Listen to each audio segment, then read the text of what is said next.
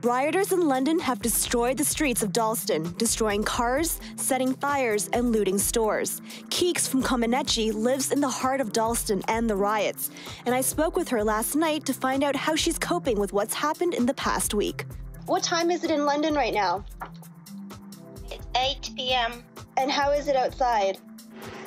I think uh, the rioters are just threatening us, but I mean, I can hear helicopters and police. What was it? How was it been like for the last few days?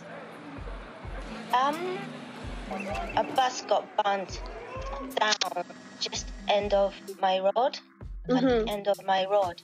What's the uh, what- what's the vibe like? Uh, it's pretty bad. Vibes are really bad. Everyone's really scared and quiet all the streets. And shop uh, windows being smashed up. I was looking at the news, and I know in Dalston, uh, wasn't there like a bunch of owners from small businesses? They started to like line up together to stop the Uh, rioters. Yeah. Turkish people. Turkish people are like, uh, you know, trying to protect our area. They are the heroes. So uh, all the um, rioters just um, left the area.